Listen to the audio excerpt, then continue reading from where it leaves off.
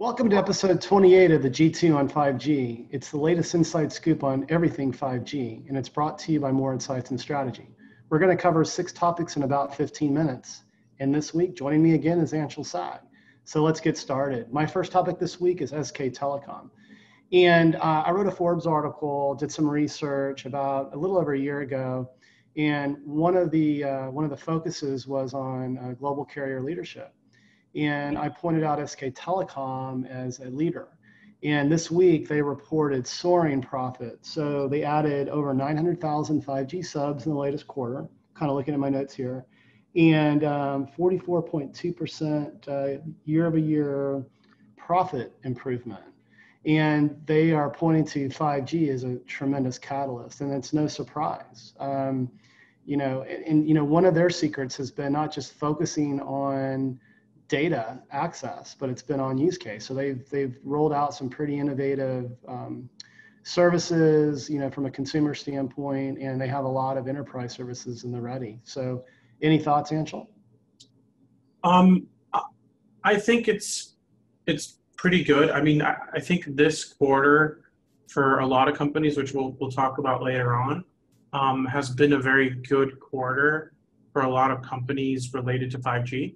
Mm-hmm. Um, I think it just, you know, 5G has been out now for more than a year. And I think it just took time for these companies to start realizing uh, the benefits of rolling out their 5G networks and, you know, marketing to consumers and getting, you know, phone upgrades done and, and, and getting people on new rate plans.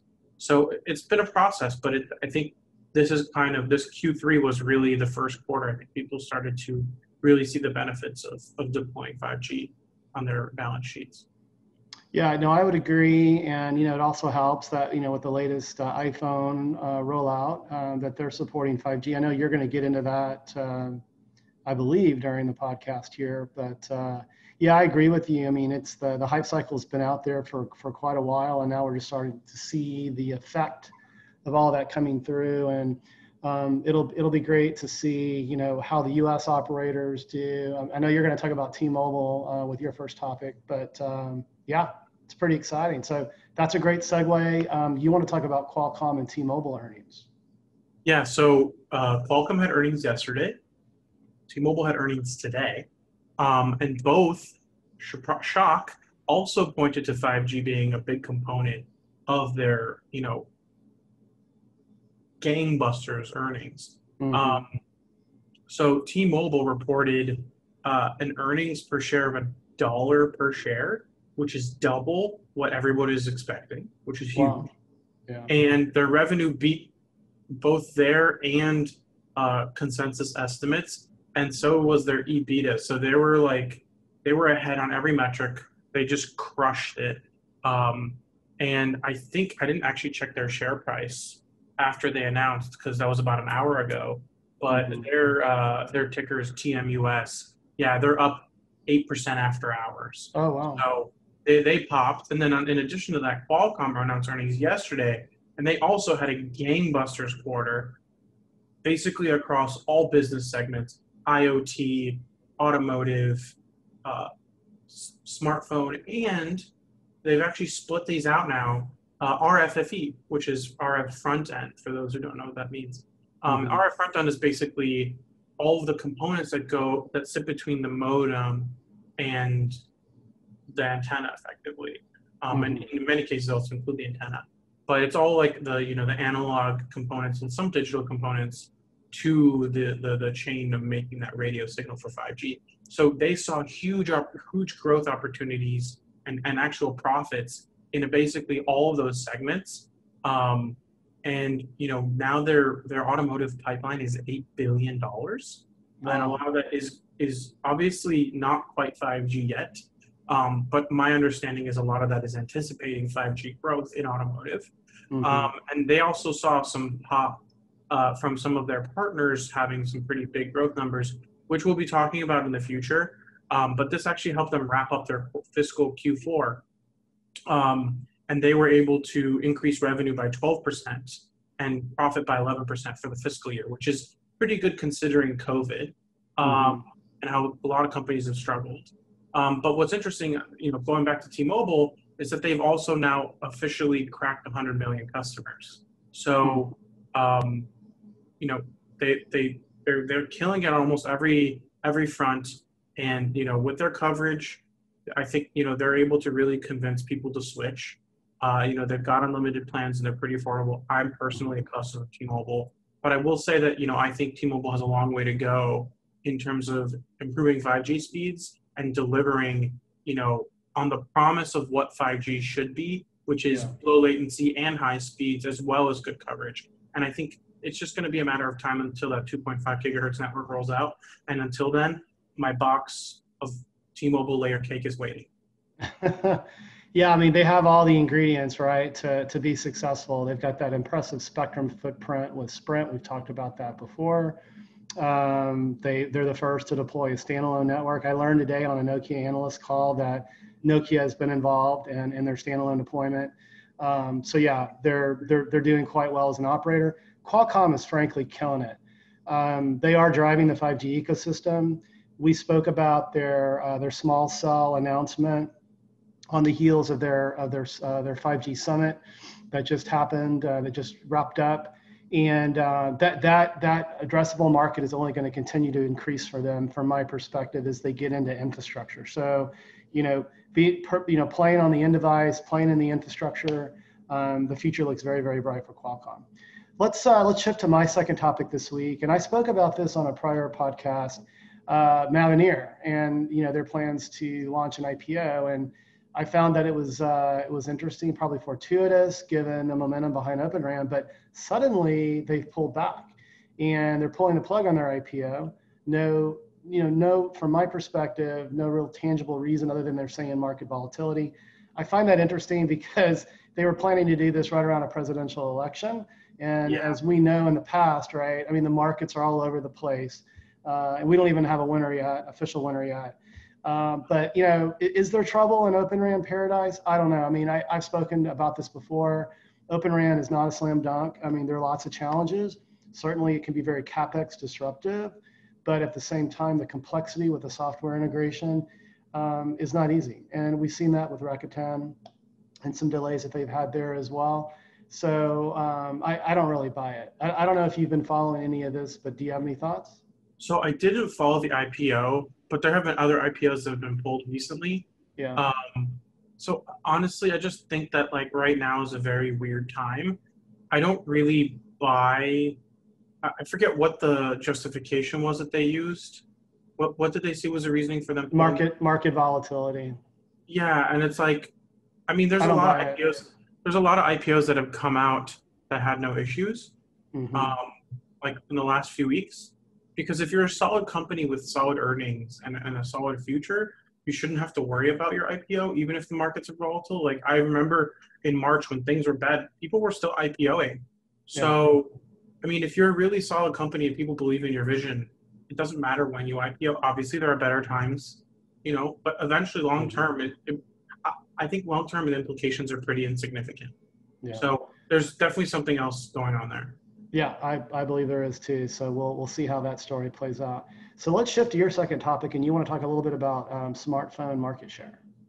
Yeah. So uh, last late last week, uh, there was a, an announcement from Canalys, uh, who's one of our our, our partners at Moor Insights, uh, and they provide a lot of market data that um, you know is very deep, and they were able to look at October 2020, which was Q3, uh, and they were able to look at the numbers and see that Samsung had reclaimed the number one spot as a smartphone vendor in the world by shipping 80 million units, followed by Huawei with 51 million, and Xiaomi grew by a huge percentage to That's- claim yeah, the third place spot.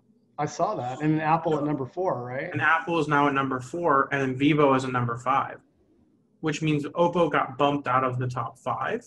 Yeah. And what's interesting is if you look at the annual growth numbers uh, that Canalys has, they show Samsung growing 2%, Huawei shrinking 23%, and Xiaomi growing 45%. Wow. Is that Well, based Apple- on the price point, Anshel, with Xiaomi? So Xiaomi, I would say, definitely has a very broad uh, available price point, price segment, and they have you know top end. They have the number one ranked camera phone on DxOMark, but they also have some really great two hundred dollar phones. So I, I think Xiaomi is probably one of the few companies out there that can really deliver a five G phone at almost any price category.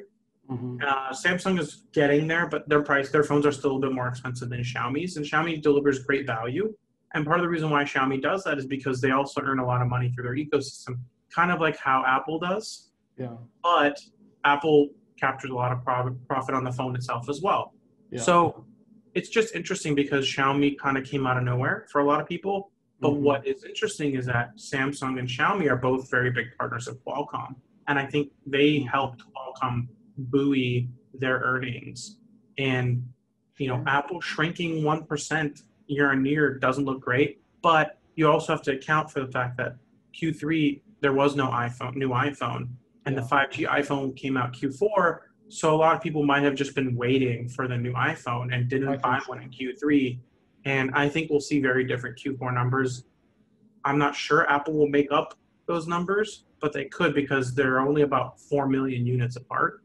So I have a feeling Xiaomi, Xiaomi may get bumped back down unless they continue their growth. Yeah, yeah. No, I, I would agree with you that um, I think there was there was a lot of waiting, you know, for that that 5G enabled iPhone, and um, you know, and then you know, it's interesting, you know, um, this mini form factor as well. You know, I think you know phones have been growing, growing, growing, and now we're seeing some of these foldables like the Samsung Flip that um, that are a larger format, but you know, when you fold them, they're much more pocketable. I think you know there may be you know a trend or some you know subset of uh, consumers that want to want a smaller form factor. So um, you know I know you you cover the end devices. That's not my my area, but I, I'm going to just throw a you know a guess out there that I, I think the the iPhone Mini is going to do quite well. I don't know. What Oh, you think about absolutely. I mean, Yeah. one of the reasons why the iPhone mini will do so well is because it's a 5G phone and it it's a no compromises 5G phone. You don't actually have to compromise on any features Yeah. in order to get that compact size, which you pre- previously have had to do with Apple. So I think that alone is going to be a big thing. Plus, it intro, you know it brings you into the iPhone at six at five ninety nine. hmm So you get the five G iPhone at five ninety nine. So not only is it smaller, it's also cheaper. So I, Yeah. I really do think that's going to be their best seller for sure. Yeah, cool. Yeah, I mean, yeah, that's a com- that's a compelling price when you look at you know the larger format iPhones that are that are north of a thousand US, right? So, yeah, so it'll be interesting. Let's keep tabs on that and uh, have you come back and, and give us an update when uh, when next quarter numbers break. So, let's uh, move to my third and final topic this week, and it's out of the UK. And Vodafone announced, Vodafone UK announced that they're no surprise, you know, given uh, the UK's rip and replace effort of Huawei, um, that they're going to replace Huawei with with Open RAN um, for 5G. Now, is this a risky move or are they a trailblazer? I don't know. I was talking about some of the risks, uh, pros and cons with uh, with Open RAN earlier in the podcast, but uh, this is pretty gutsy on their part. What do you think? Um, it is. I mean, to be fair, being a trailblazer is risky. Uh, I think they're doing it because they want competition and they want people to compete for their business. Yeah, And it's much harder to do that when your options are Ericsson, Nokia, Yeah. Samsung, right? Mhm. But when you start adding all the other ORAN or the Open RAN, sorry, when you add all the Open RAN potential suppliers, there's a little bit more competition on price, and I think that's what they're looking for. Yeah, yeah, but you know, someone's going to have to integrate all that, and that's something traditionally that um, Ericsson and Nokia and Samsung and Huawei have been very good at. And it's like that one throat to choke, you know, and from a service, you know, service perspective as well. And with all the disaggregation going on, yeah, I mean, there's, it's great for leverage um, from a from a capex perspective, but then, you know, I don't believe Vodafone is going to do the integration. They're going to have to find a third party that can go do that, and then you know, okay, if there if there's an issue in deploying, you know, the radio access network, whose throats are they going to have to go choke, you know, to go address that. But, you know, um, you know, I, I expected an operator was going to do it. I mean, there are lots of, you know, proof of concepts going on right now with every operator. I think every operator is looking at, a, at, uh, at Open RAN because it is very compelling, um, but uh, from a cost perspective. But uh, but it'll be interesting to see like their journey, and so I'll I'll make sure to keep tabs on that and you know bring that back into a future podcast as uh, the, the details are uh, are forthcoming. So let's shift to your final topic this week, and um, Samsung and KT announced a collaboration. Yeah, so Samsung partnered with KT to roll out their new core. So KT has a new standalone core, but it's a common core so that it shares uh, the core for 4G and 5G and Wi Fi. So that way they can deploy one core for all types of connectivity for their customers. Mm-hmm. And in theory, it should save uh, time and money on both the automation as well as you know all the management that they need to do for their network. So they're they're they have basically you know one thing orchestrating every kind of connectivity. Obviously, it needs to be very high performance. Right. Uh, it's going to need to have a significant amount of flexibility, but it, it looks like KT is the first partner to, to do this with Samsung and it's going to allow them to roll 5G standalone pretty quickly. I, I hope because yeah. unless you have 5G standalone, and a lot of these use cases are just not going to happen. Right, right. Yeah, yeah. What's interesting, you mentioned standalone. So it supports 5G standalone and non-standalone and LTE, right? And um, so that's extremely, you know, flexible from to your point from an orchestration perspective because 4G isn't going away anytime soon. I mean, 3G is still being supported, and you know, I I imagine probably not as much in in the the Korean market, South Korean market as it is, and maybe you know developing you know sort of parts of the world, you know, Africa and and you know places like that. But um, yeah, it's uh, it's quite interesting, and uh, you know, I was surprised. You know, SK Telecom. I talked about them at the top of the podcast they've been a real innovator and they've been you know very um, progressive in, in adopting the latest technology and integrating lots of virtualization in their network. I was super surprised that it wasn't sk telecom. Rather it was kt and i'm not too familiar with kt right? I mean they're aren't they can they're not even considered in the top three from an operator perspective. Oh no they are. They're number are two. they? are they number two? Skt kt and then lg got it. Okay well, I, I missed that one. yeah, I mean, the, the, thing is, is that like both SKT and KT are very close partners of Samsung. In okay. fact, I think all three are. LG obviously is less so because Samsung is a competitor. Yeah. But the reality is Samsung's using Korea as their test market for a lot of technologies and rolling those out to the rest of the world. And they've proven, you know, as they've won business with companies like Verizon, that they're very capable and that their technology works. So I think this is just going to be a continuation for Samsung Networks' continued growth into 5G and as a alternative to Nokia and Ericsson. Yeah.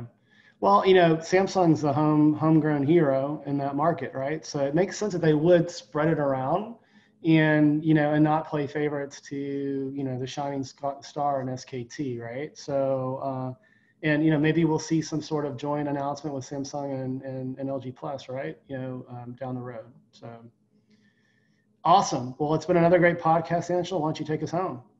Sure. We hope our viewers and listeners found this week's topics interesting. If anyone out there would like to provide us insight on a specific 5G topic they would like for us to cover in a future podcast, please reach out to us on social media. Will is at Willtown Tech, and I'm at Anshel Sag. We hope you had a great weekend and please tune again next week.